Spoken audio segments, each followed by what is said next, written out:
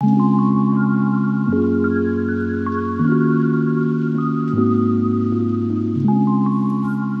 everyone, it's Leanne. Welcome to another video on my YouTube channel. I have an unboxing to show you of some art supplies I bought. I mentioned in a previous video that I was going to do this, and so I'm going to tell you about my experience. And I'm in Canada, so I've never ordered from this company before. I was curious about the shipping and the process. I did not get charged duty. I am shocked. So I'll show you my order here. I left it open on the box so you could see. So here's a look at the order and the total goods are $92.87. This is Canadian dollars. Uh, I paid about seven and some change Canadian for shipping. So by the time it was all said and done, I was just over $100 and they did not charge me duty when this came in. I was shocked and I kept checking my email looking for a note about duty and nothing. So I'm really impressed. So I'm going to share with you what I bought. So I just kept this to show as well, uh, the total. So you can see that the final total was $100.63. Um, and the shipping I paid $7.78 for. So I'm so excited that I got this at such an affordable cost. Um, you can see I have bought some pencils. I'll show you those in a minute. But our local art store charges $6.99 a pencil and on Jackson's website, they were on sale that week, and I paid $4.05 a pencil. So let's take a look at what's in the box. I'm super excited to show you. Uh, so I'll get these out first. I did take a peek earlier just to make sure everything was in the box. Um, so these are the Caran d'Ache luminance colored pencils. I'll show you the colors I got. Right now I only have a white in these and I definitely wanted more. I Currently I'm using the Polychromos from Faber-Castell and I really like those but I really wanted to try these because the white that I have is so creamy. Oh, this is the fun box. These colors are so pretty. So these are three of them. So let's see what this one is called. Light Malachite Green. Love, love this color. There we go. And this pink is also beautiful. This one is called Anthraquinoid, Anthraquinoid Pink. And then this one is a green, which I'm loving dark greens right now. This one is dark sap green. So pretty. Love this. And then in this box, let's see what's in here. Nice. These are beautiful. So this one is yellow ochre, which is another color I've just been loving lately, and I wanted to make sure I included this in my collection. And this next color, this one here is called Burnt Sienna. That one's a really pretty too, nice uh, kind of a cherry brown. And then this one is definitely more of a lighter color. And this one is called Brown Ochre 10%. So I thought it was good to have a variance. Again, I'm starting from scratch on this. I have no colors in this line except white. So I really had to pick some of my favorite colors. I tried to pick some light and some dark just to get a variance so that I could use them for sketching. Mostly just rough sketching. Uh, there's two in here. If I'd have known they were three to a box, I would have bought one extra just to fill up the box, because why not? But I didn't know at the time. Uh, this one is called Light Aubergine, and it's almost like a purpley, but like a muted purple. It's more like a brown, a dusty kind of color, which is so pretty. I'm not a big purple fan, but I do like this one. And then this is another staple that has to be in my collection. Prussian Blue uh, is another color that I just love right now, and I have for a while, especially with colored pencils, just being able to do outlines uh, or baselines with this color is my favorite. I love this color. And then in the last box, we have three more. There we go. So let's take a look at this one first. Uh, so this one is um, violet gray. Again, it has like a purple tone, but it's not purple. It's kind of a, a reddish gray almost, I guess. Kind of that purpley. It's got a little bit of blue in it. But a medium tone I thought was really nice. And neutral too. I seem to really love neutral colors right now. which is weird for me because you know I love uh, bright colors. This one here is French Gray. I thought this was one of those colors that I had to include as well because I just felt that it would be very versatile. And it's more of a darker tone on the darker side. Uh, this one here is light cobalt blue. I'll show you what the nib looks like also. That one's super pretty. It's almost like a, a kind of lends to a lilac, but it's blue. It's not, definitely not purple. But that one's nice. So there's a quick look at the pencils. Let me put these this way. We get a kind of a tighter shot on these. There we go. That looks a lot better. So you can see those a little bit closer. That's the color palette I have to start. And then of course, as I mentioned, I have a white. I mostly use colored pencils for sketching in my notebook, uh, doing like quick color studies or even uh, quick sketch studies, I guess, where I just want to drop some color in, some shading, but nothing like finalized. And I thought it would also be nice to try these over gouache. As you might have seen in my last video, I got the Himi gouache set. And so I thought maybe trying adding some shading with colored pencil might be something I dabble in um, in the future, but I'm not sure. I'm, I'm not sure I'm comfortable there yet, but I definitely will use these in my sketchbook. I'm going to do a video uh, swatching all these colors that will be coming up next. So make sure you subscribe so you get the notification for that video. So I'll show you what's in these two packages next. I'm really excited. I haven't opened these yet, so it'll be new for both of us.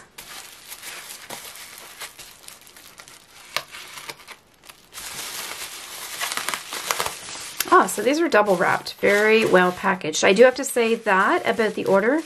It's very well packaged. Great, so we have another unboxing. Let's see what's in these packages.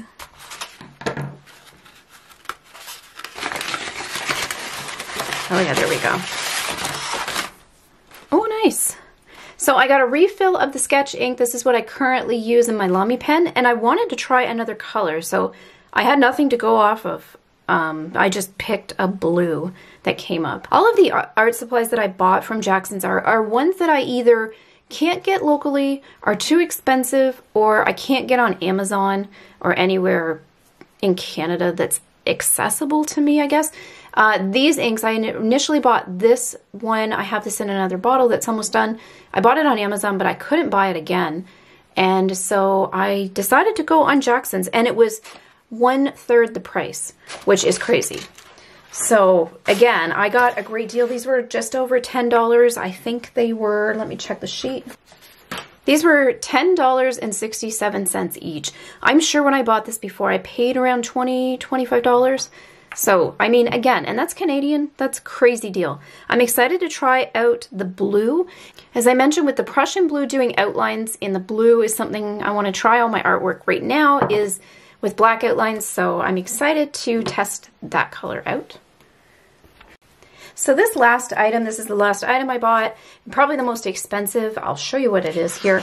Uh, this one I saw in a video, uh, Monkey Mintaka had it, and she was talking about it, that someone had recommended it, and so she got it, and I was super inspired that day, and I don't know if I was just in an art craving mood, but I immediately went and bought it, and that's what inspired my purchase for everything else. is based on this, and this is not something I could find anywhere around where I live at all.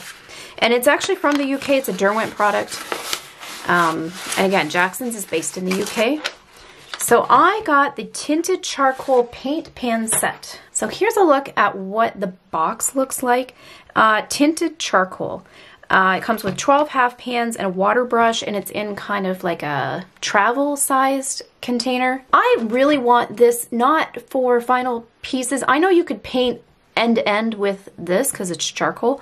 I want to use it for doing tones on sketches. So I do a lot of outline work and again in my sketchbook if I do some quick sketches, I want this to be a way to do tonal studies and to get better at tonal studies and, and tone in general because tone creates form and I mean when you jump in just with color uh, you can have lots of right the right colors or close to the right colors and not have good form because the tones are off. So tones are very important.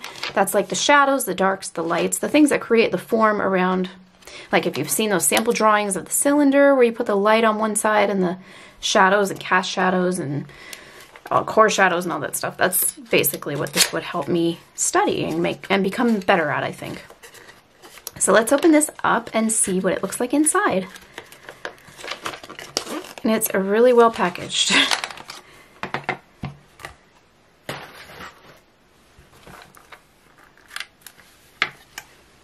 That's so cool. I thought this was just a good variance of color. I just, it's not all blacks. I'm not a fan of, I don't know, black in that way. And I really wanted to have some colors. And I think there's another one that's similar, maybe a tinted charcoal that's more like neutral tones, I think. I think this was the more colorful, if I'm remembering correctly.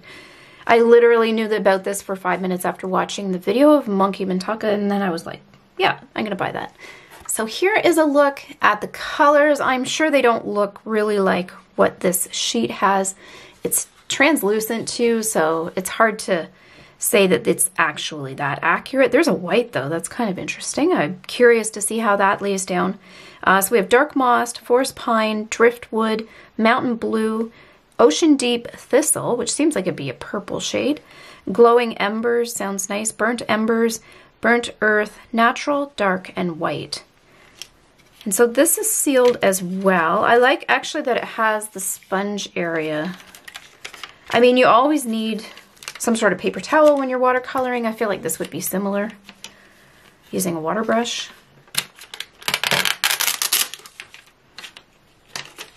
Nice. It looks messy. I can tell that there's charcoal already on the plastic. It looks messy. But I love that this is just in a travel size kit. And so let's take a look at this water brush. This looks really intricate. I'm gonna pop the lid off.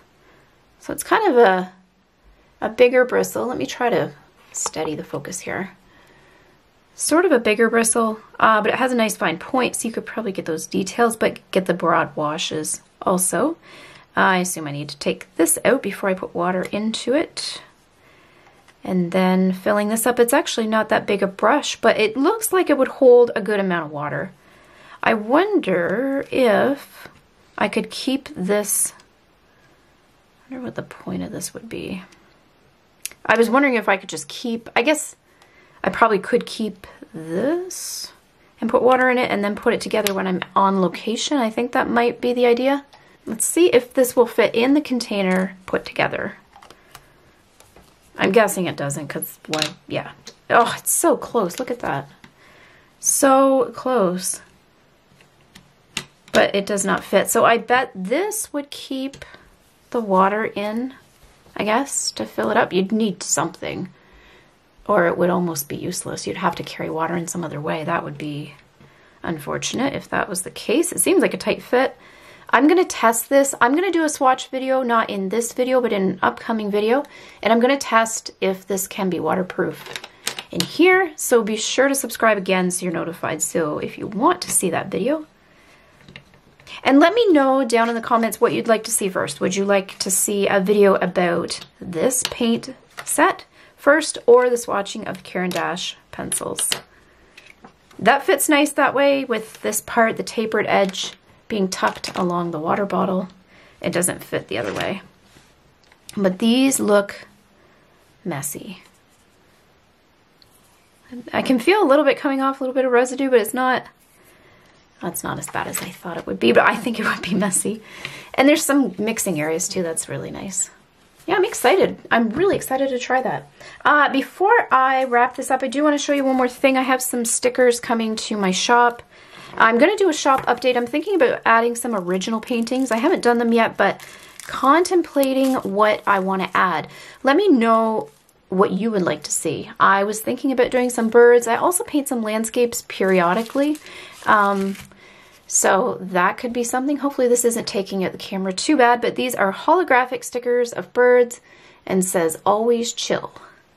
This is the Arctic tern. So he is actually a bird that frequents the Arctic, but also warmer climates. They migrate the farthest of any bird in the world.